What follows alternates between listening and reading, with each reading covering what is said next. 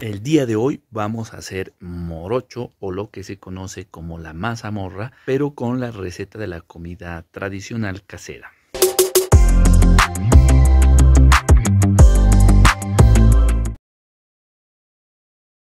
Este es un alimento milenario que hace parte de la comida casera campesina.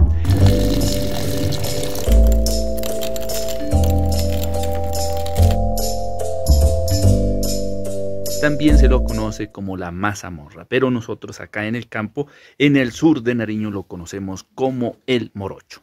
Y el morocho es un alimento que está realizado o hecho a partir del maíz.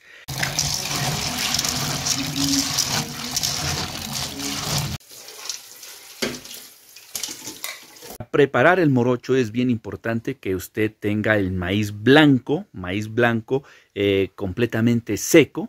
Por lo general en el campo se acostumbra a tener el maíz en el soberado y como está pues bastante seco este, este grano se pone a remojar al menos dos horas para posteriormente pues pasarlo por el morino. Los granos deben de quedar un poco gruesos para posteriormente ponerlos a cocinar a fuego lento y pues en la hornilla.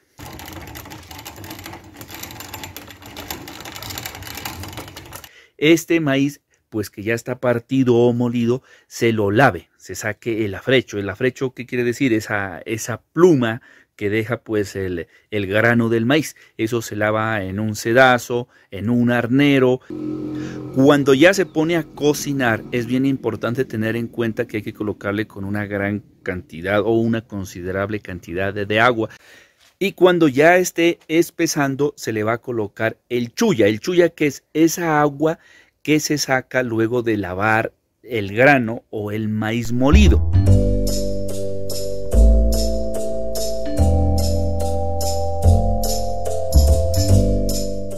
y posteriormente cuando pasan varios minutos después, cuando ya empiece nuevamente a espesar otro poco, se le aplica o se coloca el ñuto. El ñuto es digamos como la fécula de maíz que queda después pues de haberlo molido y después de haberlo lavado. La fécula es ese tipo como de conchito, de como de, almidón.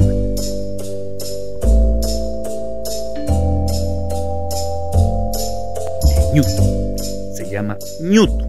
Y posteriormente se deja otra vez que se cocine y hasta que espese un poco y hasta que el grano de maíz ya esté blando. Posteriormente ya se sirve y se sirve con leche y con un poco de panela si es el gusto. En otros casos también comen este morocho o esta mazamorra, eh, también la consumen con un poco de salto.